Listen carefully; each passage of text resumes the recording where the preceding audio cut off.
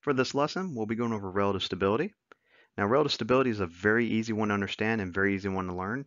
However, if you've never seen it before, it's best to at least get an overview of it. That way it doesn't bite you in the rear later and it's an easy problem you could have answered in five seconds. Now, relative stability consists of your gain margin and your phase margin, and we'll go over that in the later slides. Relative stability represents the degree of how close a system is to being unstable. The relative stability parameters consist of the gain margin and the phase margin for both discrete time and continuous time systems. Ideally, a positive gain and a positive phase margin will ensure stability. Now for this lesson, we'll be mostly focusing on open loop transfer functions of systems. So let's go over gain margin. Gain margin represents the amount a system gain can increase while maintaining stability. Simply stated, if you wanted to calculate this or find this on a Bode plot, it's the number of decibels below zero decibels at the phase of negative 180 degrees.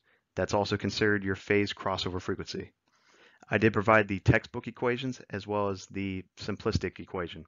So if you want to find the gain margin, it's going to be zero minus the amount of decibels from 100 negative 180 degrees. Now you're going to need your phase response Bode plot as well as your frequency response Bode plot completely next to each other. That way you can draw your lines to understand where your gain margin is. Lastly, we have our phase margin.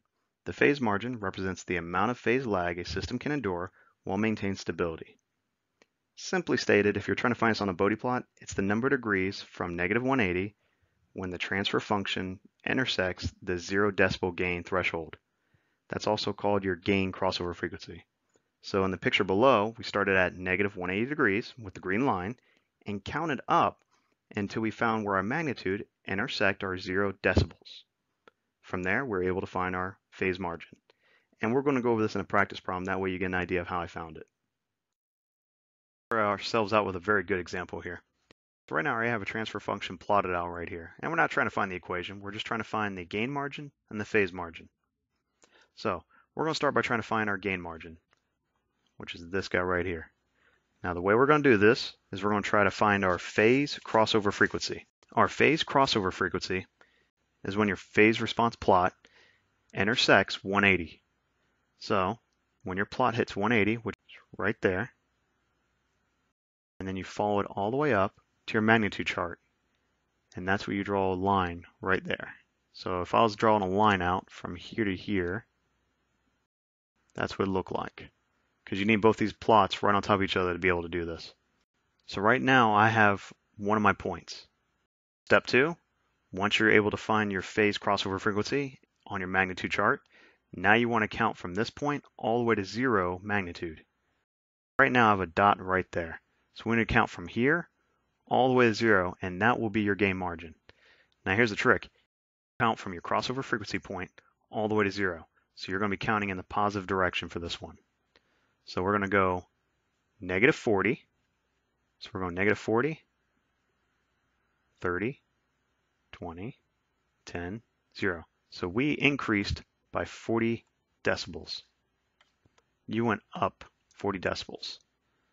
So that's an increase. And I'll tell you what, I'll go back to this color. That way you might be able to see it better. Plus 40 decibels. Very simple. You're going to use your phase to find your gain margin. Okay? Very simple one. Number two, we're going to do the same thing. So we're going to use our magnitude plot to find our phase margin. So picking our color, say blue. I want to see where our magnitude intersects zero. Where intersects zero, right there. Okay? And same thing, you draw a line going down going to go from here all the way down. I'm going to draw a dot right there.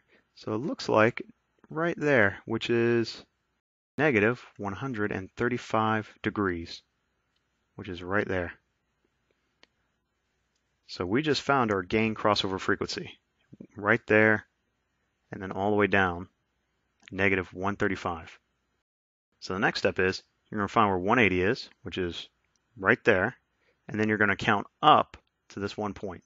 The equation in the PowerPoint. So it's going to be PM equals 180 minus the difference of phase, which is, which is 180 minus, and this is 135, difference in phase, is going to be phase margin of 45 degrees.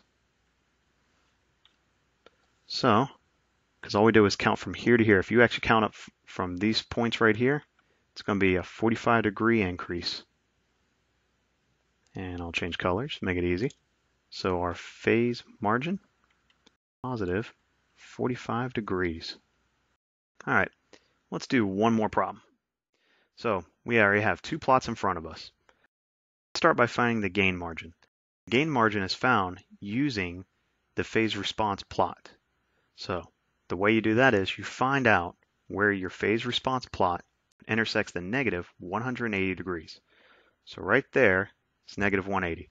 So you follow the line over until you hit negative 180, which is about right there is a negative 180 degrees. Right there.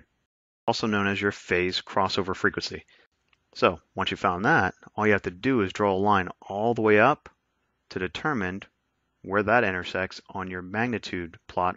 So let me draw a line for you, see if it will help.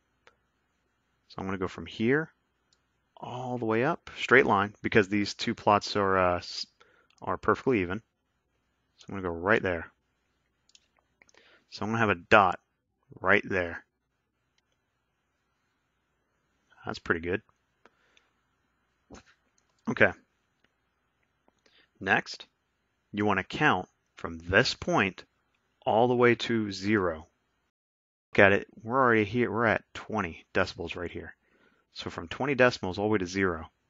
So that means, I'll tell you what, I'll go back to yellow, which means, number one, our gain margin is going to be negative 20 decibels because you're counting from this point down. And so it's going the negative direction when you're counting. Try to find your phase response. Your phase response is very simple. You're going to to use your magnitude plot to find your phase response. By doing that, you find out where your magnitude intersects zero, so it's right there. And it looks like it's at 10K, so it's right there. So if you draw a line all the way down, and I'll tell you what, I'll do that just a minute, since we did on the first one. So we're going to have a dot right there. Okay, so we have a dot right there. And looking at that, that looks to be about, say about 225. 225 degrees is neg that's about where that's at. Follow that line over. It's right there. It's at 225. Well, here's the bad news. We're going 225 to negative 180. So we're going from here to here. Well, the only problem is when you go in that direction, you're also going negative. You're going downward when you count. So we're going from 180 to this point. Talked about it's going to be your phase margin. It's going to be equal to 180 be minus the difference what phase you're at. So it's going to be redraw it 180 minus 225. So that's going to give us a negative 45 degrees which is also not good because now we have a negative number. So both our PM and our GM, our gain margin and phase margin, are going to be negative numbers, negative 45 degrees. Solving your relative stability questions are very simple. It's not something that's very complex at all. You just got to know how to understand it and you got to know where to plot and how to draw your lines out. It's not very difficult at all. This type of questions should be very simple to you. If you have any more questions, please let me know, and I hope you all have a good day.